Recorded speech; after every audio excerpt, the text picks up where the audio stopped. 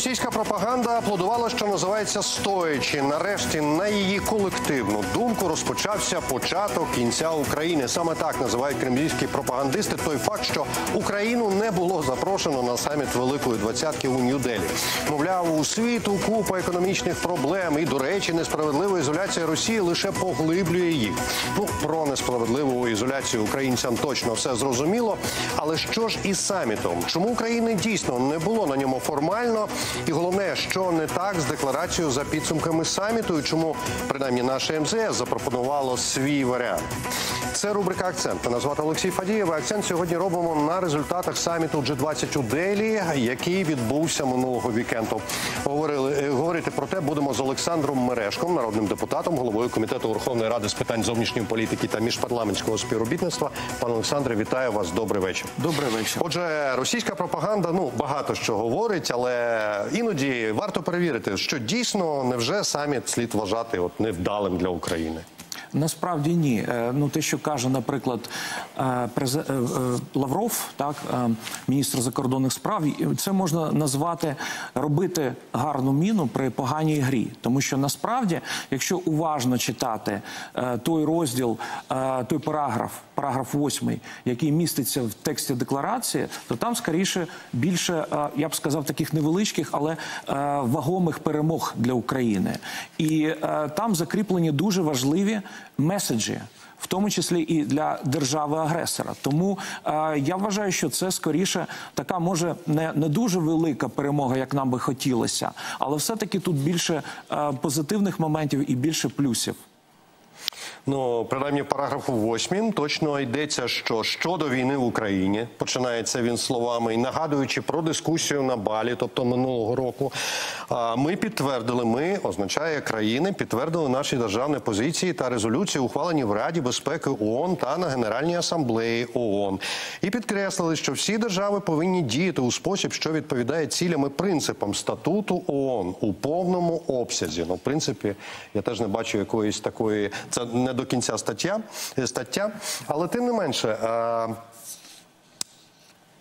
Індія не запросила Україну, і це якимось чином, напевно, дивним, чисте співпадіння співпало з, ну скажімо так, інтересами Росії. Ну, Росія, що, що тут, чого тут скривати, да? е, приховувати? Росія не хотіла, щоб ми там були зі зрозумілих причин. А скажіть, будь ласка, індійське рішення було об'єктивним? Чи можна припустити, що в Росії були якісь зв'язки і якісь? ну, скажімо так, побажання. А відтак е, питання постає: а яким чином взагалі Росія може щось диктувати чи про щось взагалі просити Індію? Ну насправді дійсно, я вважаю, що Індія зробила політичну помилку, і навіть не тільки політичну, але також моральну помилку, коли не запросила Україну, як це було, наприклад, минулого разу на минулому саміті. Але разом з тим, ну тут зрозуміло, що з політичних міркувань, можливо, навіть через економічні інтереси, Індія намагалася догодити Росії. Причому мені здається, не тільки Росія, а також і Китаю.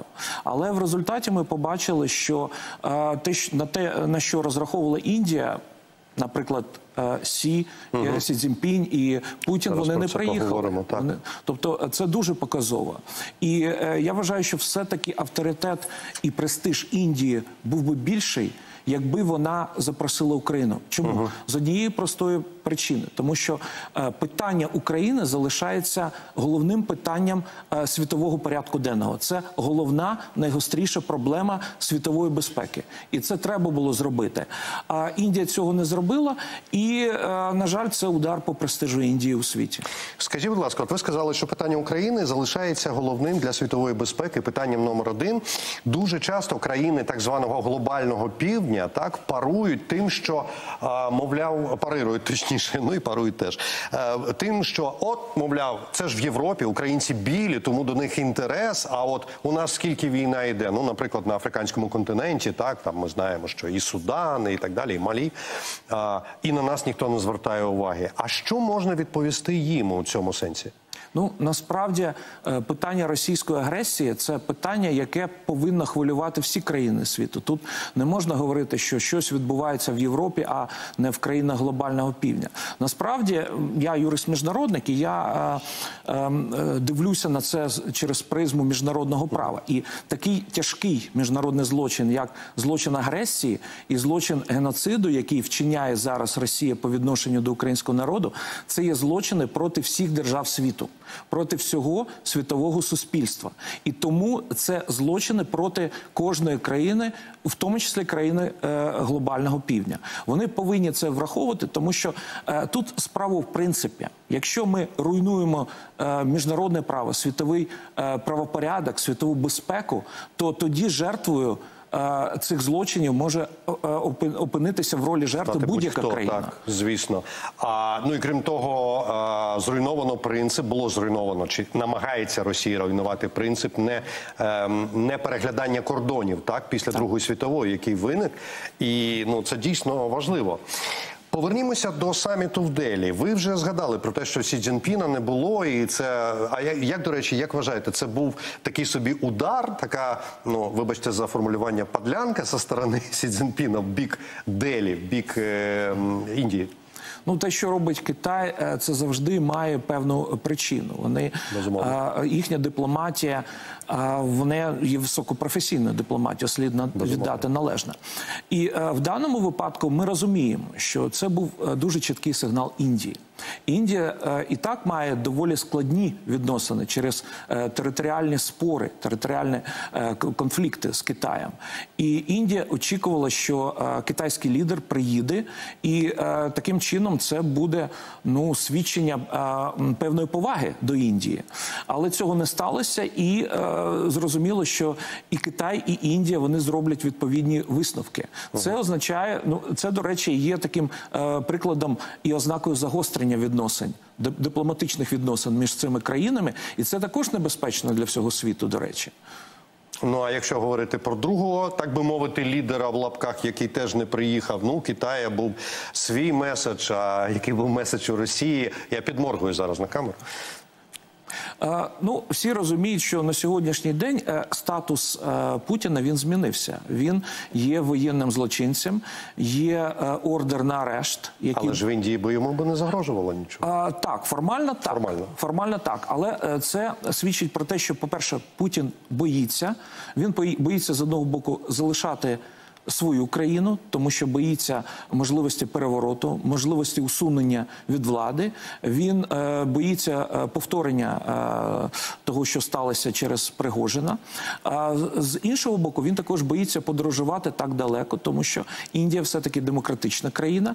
Він хоче, знаєте, таких гарантій безпеки. Е, Наприклад, в Китаї або в якійсь тоталітарній країні такі е, стовідсоткові гарантії безпеки вони можуть бути. До речі, у Північній Кореї можуть Абсолютно, бути. там є Сюзеренко, котрий каже: «Теб- тебе ніхто не троне, так? Так. От. Але Індія це країна демократична. Путін боїться демократії. Він боїться подорожувати в демократичні країни.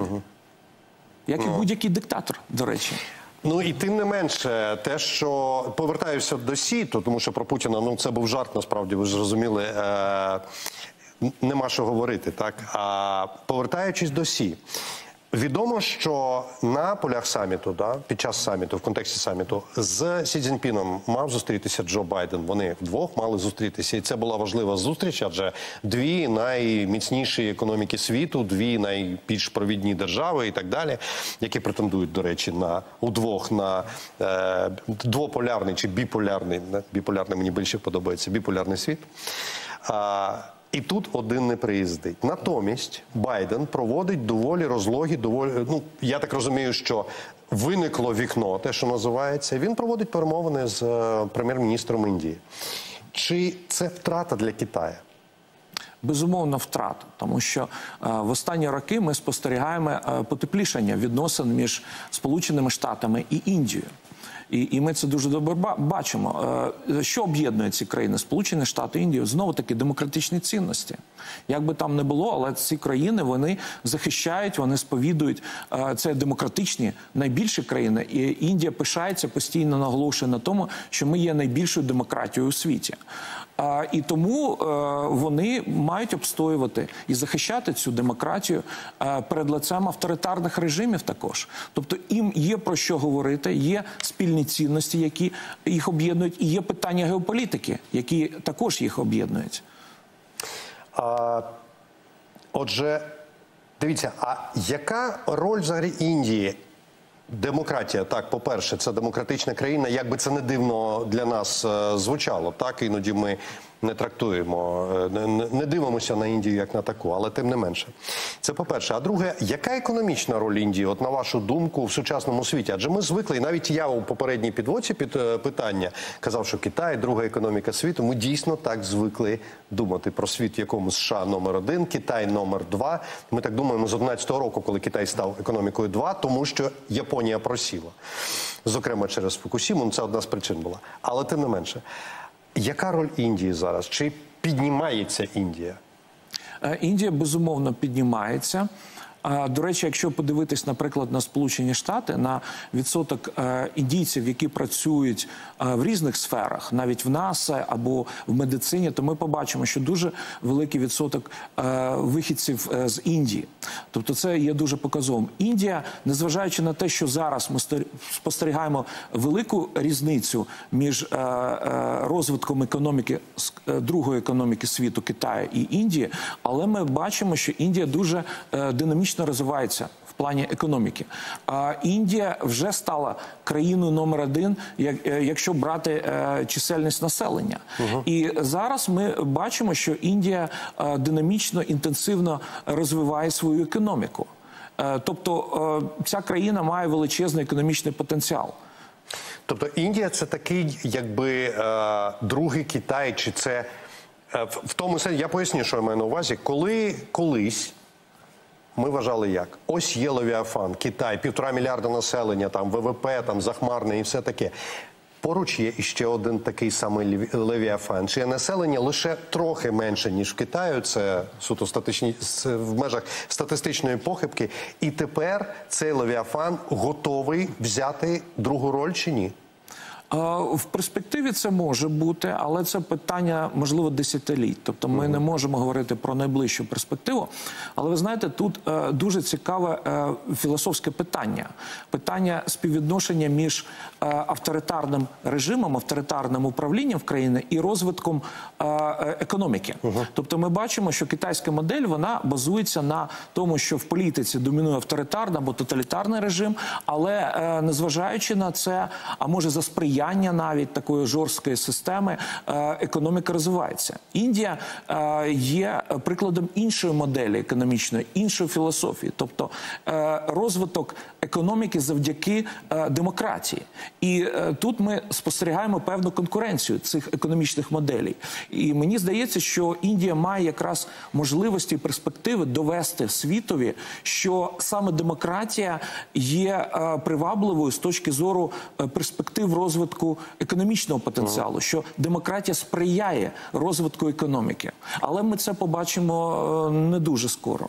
Абсолютно, ну але зараз ми вже бачимо, як е, система, яку збудували в Китаї, починає давати збої, і е, ми неодно- неодноразово навіть в цій програмі посилалися на матеріали а, різноманітні українські і західні експертів, котрі говорять про те, що а, система, яка забезпечувала Китаю високе ВВП, взагалі прибутки, вона поч- поч- е, почала вже е, перестала працювати скажімо так, почалися проблеми і серйозні проблеми, е, до яких призвели в тому числі в тому числі і методи комуністичного хазяйнування, нехай навіть з китайської специфіки, як казав Ден Сяопін, соціалізм з китайської специфіки. Ми менше з тим у своєму твіті за підсумками саміту президент США Байден е, підтримав концепцію, значить, одна земля, одна родина, одне майбутнє. Це взагалі концепція так називається. Це підзаголовок декларації фінальної, так і ця концепція дуже дуже схожа на китайську концепцію спільного майбутнього людства.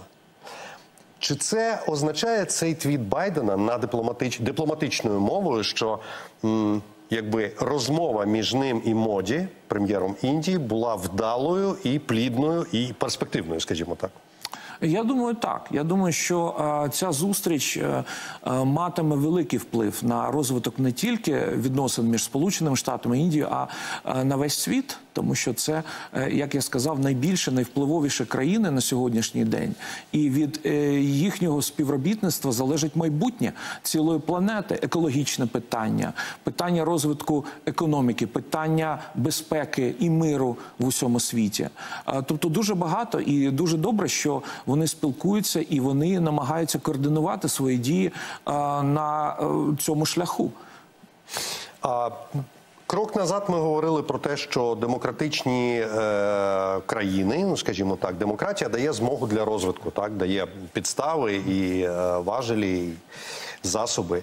А демократія на саміті чи наявна вона, чи це демократичні зібрання? Взагалі, е, розумієте, з точки зору глядача е, дуже багато м, інтриг може бути пов'язано, чи формально інтриг того, що видається інтригами, може бути пов'язано з такими великими зібраннями світовими, як, наприклад, саміт G20.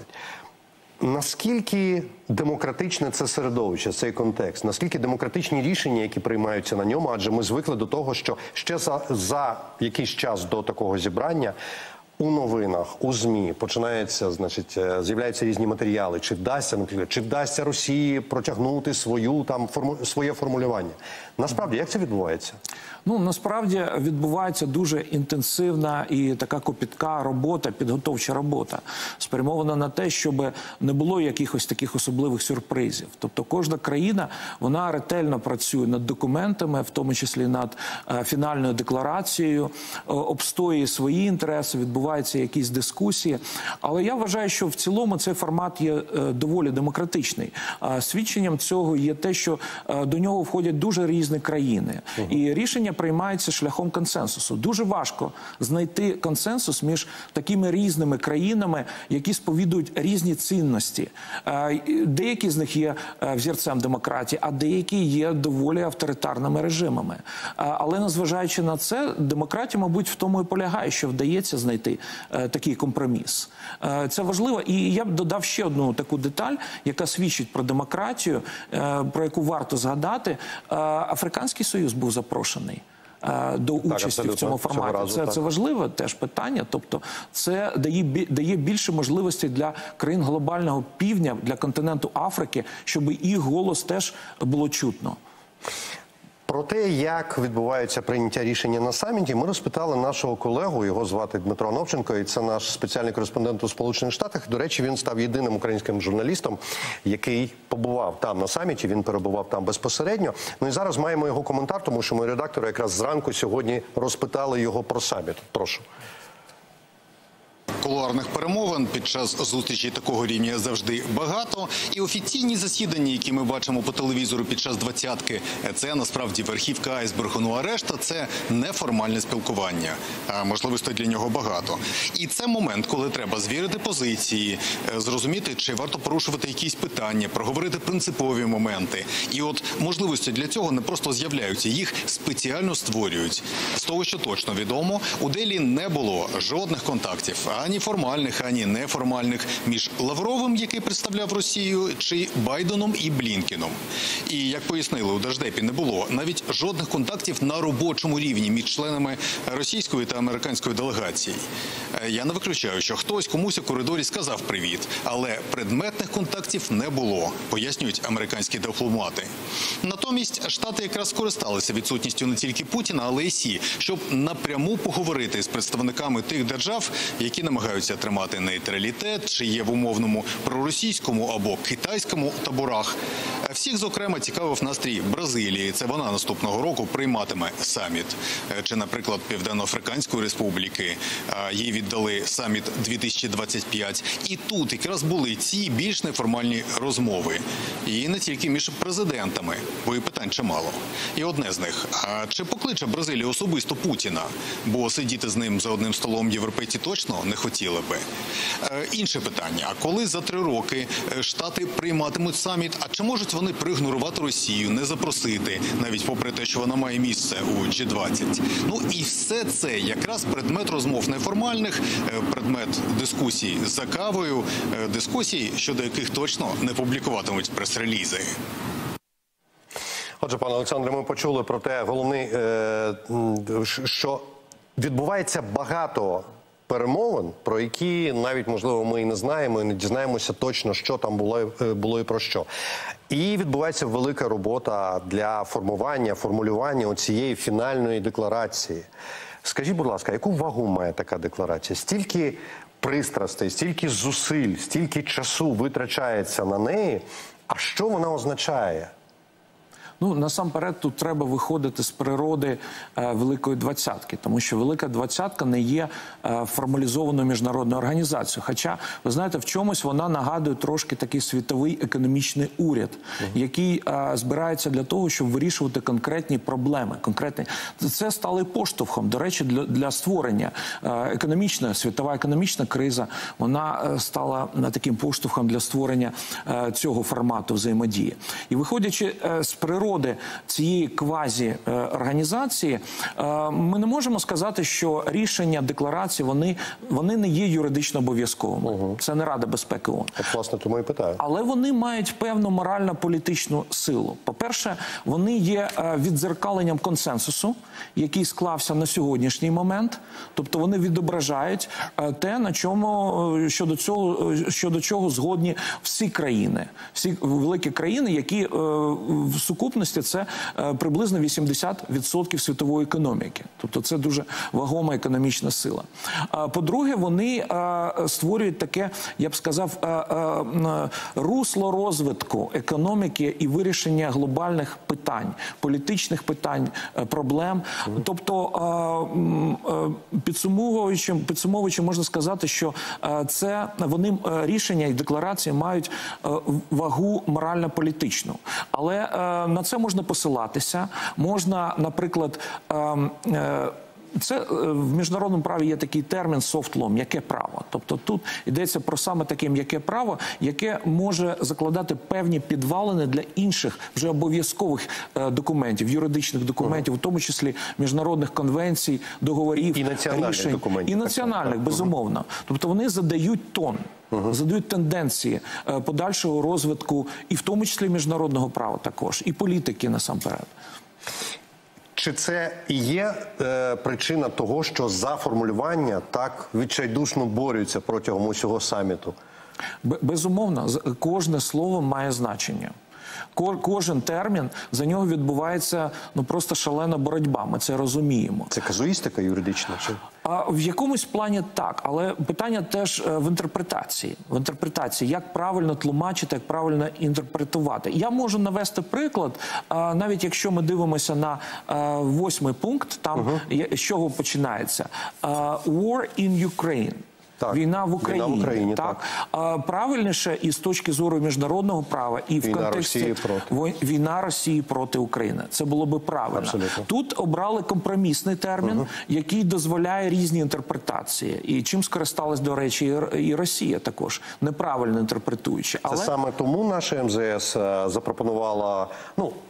Не серйозно, напевно, що тому, що ну навряд чи можна правити, чи можна правити декларацію після е, того, як А, можна інтерпретувати. Інтерпретувати. І, і знаєте, це якраз е, той жарт, в якому є трошки жарту. Але це дуже серйозно, тому що насправді МЗС вони зробили це з точки зору, е, по-перше, міжнародного права, статуту ООН, як треба було б написати, а також з урахуванням резолюції Генеральної асамблеї ООН стосовно територіальної цілісності і підтримки суверенітету України. Тобто вони виправили з точки зору міжнародного права, і це було правильно. Тобто, це правильна інтерпретація е, цих положень. в будь-якому разі подія, тобто саміт як подія. Вона, е, вона існує, він існує, і це реальність. Реальність полягає в тому, що з'їжджаються провідні політики 20, як ви правильно сказали, 80% економіки світу і ведуть переговори. А що важливіше для такого саміту, на вашу думку? Формальна декларація, ну умовно формальна, декларація фінальна, чи в процесі кулуарні розмови, перемовини. Ну, зі свого досвіду я можу сказати, що в міжнародних організаціях найважливіші речі е, відбуваються саме в кулуарах. А декларація, текст. А що а, виносять на публіку? Це вже готові рішення? Це, це верхівка айсбергу, можна сказати. Тобто, е, це е, є відображенням такого дуже загального консенсусу. Але е, найчастіше велике значення мають, наприклад, двосторонні зустрічі. Тому не випадково ми згадали зустріч президента Сполучених Штатів і прем'єра Індії. Індії, так. Такі, е, на таких е, двосторонніх зустрічах приймаються принципові політичні домовленості і рішення.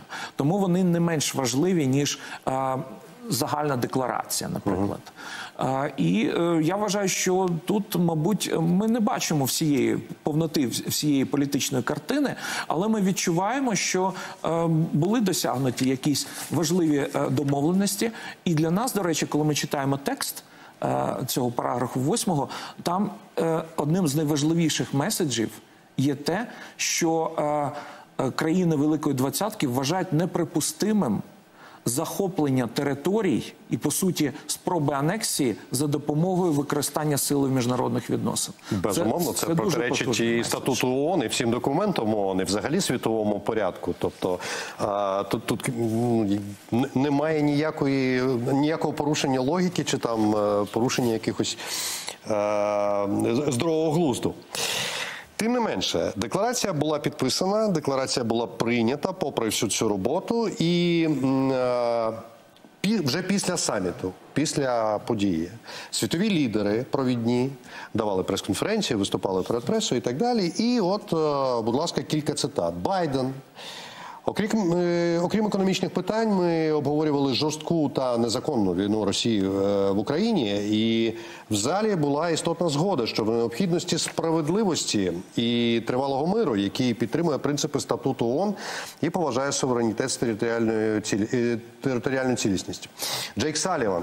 Радник з безпеки важлива віха для головування для головування Індії. Вотом довіри е, до того, що G20 може об'єднатися для вирішення низки нагальних питань.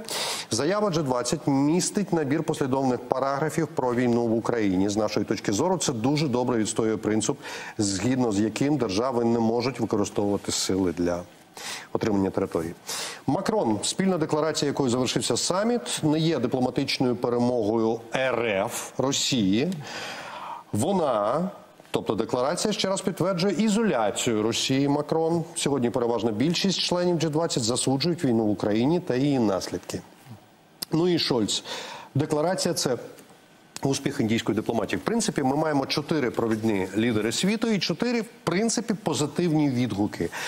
А це дійсно позитивний документ, дійсно успішний чи як?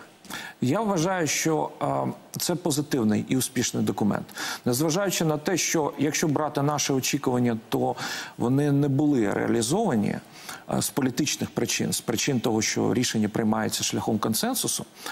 Але е, врешті-решт, все-таки це е, дуже позитивний документ, тому що він показує, що країни Великої двадцятки, а по суті, всі країни світу.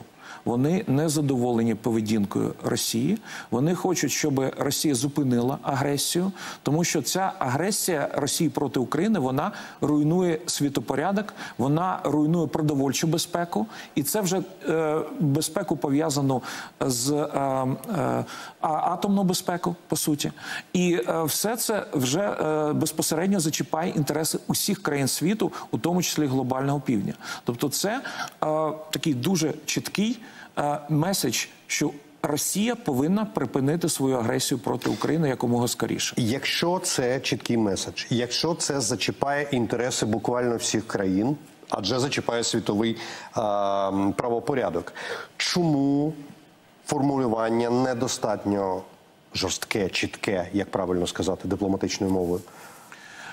Через е, консенсус, необхідність приймати консенсусом. Але якщо е, інтерпретувати правильно е, цей параграф 8 в контексті, по-перше, попередньої е, резолюції на Балі, е, тому що там є йдеться про посилання на цю резолюцію. По-друге, е, треба інтерпретувати там. Згадується також резолюція Генеральної асамблеї, де дуже чітко сказано про те, е, що необхідно захищати територіальну цілісність і підтримувати територіальну цілісність і суверенітет України, і засуджується російська агресія. Тобто, в цьому більш широкому контексті нам стає ну дуже зрозуміло і чітко ясно, що а, а, засуджується російська агресія і е, підтримка. е, Ми можемо бачити чітку підтримку е, України, нашої боротьби проти цієї агресії.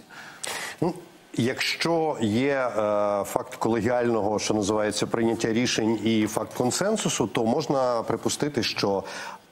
Перші варіанти їх набагато більше ніж в фіналі. Фінальний один, але ще були варіанти. От саме про які варіанти були, ми запитали нашого колегу Дмитра Анопченка. Зараз він прокоментував нам і про це. Нагадаю, що він єдиний з українських журналістів, який опинився спеціально поїхав на саміт а, G20 Нью-Делі і все бачив на власні очі.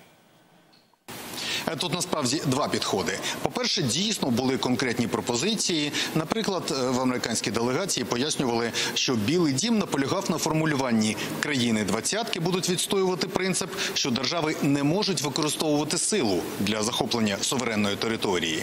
Але більшість учасників саміту е, все ж були сфокусовані скоріше на меседжах. Європейці, наприклад, пояснювали пресі у кулуарах, важливо дотримуватися основних принципів: непорушність кордонів, невизнання анексованих територій, необхідність досягнення справедливого миру в Україні. Тут не варто співставляти слова, бо фінальна декларація все одно ж не ухвалюється більшістю голосів. Тут потрібна згода всіх. І тому від американських чиновників ми почули, що Вашингтону важливо було зафіксувати заклик до збереження суверенітету і територіальної цілісності України. Ну і якраз цей заклик є у документі. Ну а щодо участі України у будь-якому форматі, то як на мене, вона дійсно допомогла би. Якщо б умовно був онлайн виступ президента, чи якщо б Україна змогла провести якийсь захід поза офіційною програмою, зал би ломився. Варіанти насправді були. Втім, останнє слово за Індією. Це вона формує порядок денний. Тож, ну як кажуть, маємо, що маємо, але це досвід. Адже Україні з двадцяткою ще доведеться працювати. Пане Олександре, отже, з коментаря нашого колеги якраз і випливає те, що фінальна декларація саміту була ну реально напевно найкращою в умовах, за якою, а я підкреслюю, от якщо наші глядачі пропустили, це не просто більшість голосів, це має бути всі голоси. А відтак всі там скільки учасників мають дійти згоди. Це не є хтось проти, а хтось за, хтось утримався, правда? А, і чи вважаєте ви, що це досить непогане формулювання на даний момент в ті в тому контексті, в якому відбувався саміт і вся підготовка, включаючи те, що Україну не запросила Індія? Е, Я вважаю, що е, цей документ е, можна розглядати як позитивний крок вперед на шляху до реалізації формули миру президента Зеленського. Ми вже говоримо про те, що можливо навіть наприкінці цього року відбудеться саміт миру. І йдеться про реалізацію формули е, миру президента Зеленського. І читаючи е, положення е, цієї декларації, ми бачимо, що вона не суперечить, вона підтримує е, по суті формулу миру президента Зеленського, яка складається з 10 пунктів. Питання, наприклад, ядерної безпеки, питання продовольчої безпеки. Тобто Це, це відображено тут це, це відображено. Тобто, в цьому плані це такий позитивний крок вперед. Треба розвивати це і е, треба реалізовувати це. І все ж таки, чи буде далі наполягати МЗС України, на вашу думку, і чи слід це робити на зміні формулювання? Ну насправді, давайте, от щоб ви це сказали, формулювання, наскільки я розумію, змінити вже не можна. Це є документ, він є історія, і все так правильно. Безумовно, ми на, жаль зараз не можемо вплинути, але ми маємо Що ми можемо зробити? Ми, ми повинні готуватись до наступного раунду. Наступний раунд, це наступний саміт. Це Нас- Ріо 24 Так, рік. так, безумовно. А це Бразилія. Бразилія, ну не назвеш позицію Бразилії абсолютно там дружньою і такою, що розуміє Україну. Ми пам'ятаємо е, Лулу да Сілву, так президента Бразилії, нещодавно обраного про те, як він запропонував віддати Україна, віддай Крим і припинив припини війну. Ну все просто, як колись Жириновського, не царство йому небесне. А що робити в бразильському напрямку нам? Треба працювати. До, до речі, у нас новий посол, е, посол України в Бразилії, який є дуже ефективним. Він раніше був послом в Німеччині. Е, І я вважаю, що треба працювати. Ми бачимо, що незважаючи на те, що спочатку Лула говорить абсолютно неприйнятні речі, і можна сказати, навіть е, трошки наївні з точки зору навіть реалізації міжнародного права, але потім він змінює свою позицію. Абсолютно два дні тому здається, він сказав вже, що і Путін не обов'язково там не буде заарештований. Він сказав точніше, це буде вирішувати. Я не знаю, чи бразильська от точно цитата. Я не знаю, чи бразильська система правосуддя заарештує його. Не знаю, сказав Лула. Це вирішують суди, а не уряд, не парламент. Це важливо. Крапка. Так. Чи це може свідчити про те, що позиція Бразилії трохи, ну що називається, поїхала в бік України, як вважаєте? Я впевнений, що вона буде змінюватися. Треба наполегливо працювати, переконувати, і це питання і для нашої дипломатії, для е, посольства, для посла, для міністерства закордонних справ. І це також важливе питання для парламентської дипломатії. Тобто, ми маємо зробити все, переконати наших колег в Бразилії, щоб вони підтримували. Йдеться не тільки про Україну, йдеться про підтримку міжнародного права і е, світової безпеки. В цьому має бути зацікавлена також Бразилія. Тобто, це в інтересах в справжніх національних інтересах Бразилії підтримувати Україну, тому що підтримуючи Україну, вона підтримує мир і підтримує міжнародний правопорядок. А якщо е, у нас є новий посол, так тобто класичний дипломатичний, прямий дипломатичний зв'язок є, і е, якби канали зв'язку, так. Що стосується парламентської дипломатії, наскільки взагалі в нас існує цей зв'язок? Ми знаємо щось про парламент Бразилії, ну звісно, щось знаємо, але чи є в нас а, в нашого комітету з міжпарламентського співробітництва зв'язки? Є декілька шляхів е, підтримання такої комунікації. Е, Насамперед існує група дружби. Е, В Верховній Раді з Бразилією, тобто е, якісь контакти відбуваються і комунікація в рамках цієї групи дружби. Е, водночас ми намагаємося приділяти дедалі більшої уваги країнам Латинської Америки. На жаль, через об'єктивні обставини е, було доволі важко, особливо в перші місяці повномасштабної агресії. Але ми намагаємося. Ми намагаємося, наприклад, е, коли ми їдемо парламентські делегації е, на міжпарламентські асамблеї, ми намагаємося в рамках двосторонніх зустрічей зустрітися з представниками країн глобального півдня, який стає пріоритетом, в тому числі нашої парламентської дипломатії, і використовуючи такі зустрічі, такі комунікації, створення. Знаєте, я завжди згадую слова президента Байдена, який сказав, що міжнародні відносини це е, міжособисті відносини. Безумовно. Тобто це дуже важливо створювати такі живі безпосередні контакти з нашими колегами, в тому числі е, представниками е, парламенту Бразилії. Ми це намагаємося зробити. А президент Зеленський, якраз ви щойно його згадали. Президент Зеленський в інтерв'ю CNN, це було під час саміту ЄС в Києві 8-9 вересня, заявив, що буквально таке, що якщо Лула да Сілва не підтримує нас, він буде підтримувати Росію, навіть якщо не хоче цього. Він сказав, що ми маємо зупинити, зупинити війну та знайти компроміс. Компроміси можливі лише з тими, хто до них готовий. Ви бачили які-небудь компроміси від Путіна, сказав Зеленський. І ці його слова, те, що він взагалі згадав про це, так він відповідав на е, запитання Фаріда Захарії. І тим не менше, те, що він е, сказав, це точно, але не прямо дає зрозуміти, що шлях в Бразилію. Принаймні Україна намічує так, принаймні прицілилася, що називається в хорошому сенсі, туди на наступний рік. Які наші шанси? Ну, шанси великі, Е, але дуже багато залежить від нас зараз. Е, е, Залежить багато, в тому числі від наших успіхів на фронті насамперед. Тому що, е, знаєте, для нас надзвичайно важливо постійно демонструвати світу е, перемоги, що, що і е, наші збройні сили роблять. Це вагомий аргумент в політиці. Так, щойно ми припинили тимчасово це робити. Нам сказали, що контрнаступ має наднизький темп, та надто низький темп. Це я так теж Так, намагаюся але найголовніше те, що ми просуваємося вперед, крок за кроком. Метр за метром, кілометр за кілометром ми йдемо, ми звільняємо, ми е, деокупуємо нашу територію, і, і це надзвичайно важливо. Весь ве- увесь світ він це спостерігає, і вони розуміють, що ми є переможцем. Ми перемагаємо стратегічно. Я повністю погоджуюсь з цією тезою. Стратегічно ми вже перемогли. Абсолютно. Е, е, Ми, можливо, не часто про це говоримо, тому що існує ну якби ситуація війни, військова таємниця і так далі. Але наші збройні сили роблять те, що роблять. А скажіть, будь ласка, з просуванням наших солдат, буквально на до, до наших кордонів 91-го року для звільнення всієї території України, абсолютно а, чи, чи зростає дипломатична вага і цінність України як такої, як контрагента?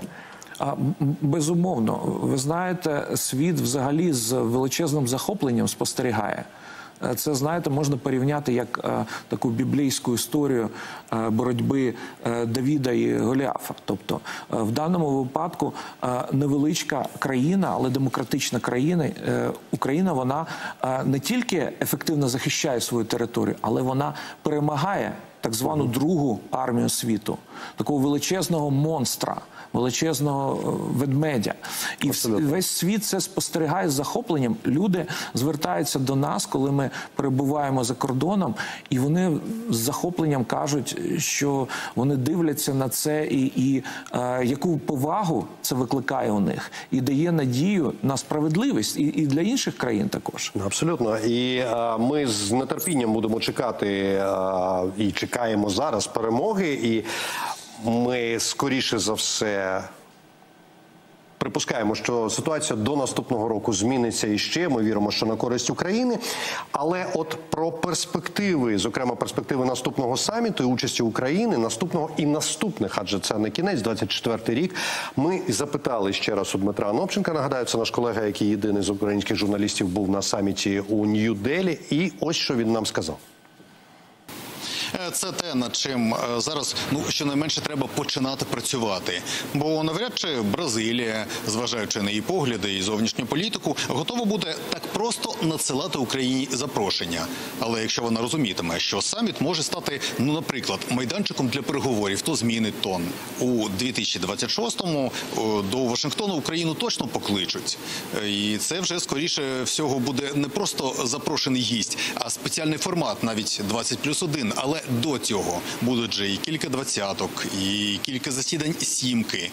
Е, Так, участь України щоразу змінює фокус, е, тому що якщо вже почали дискусію про війну, ну неможливо перейти просто до умовно клімату чи соціальних проблем. І тому спеціальне українське засідання у Ріо точно треба пробивати. Як не полишають зараз надії з часом провести і саміт миру.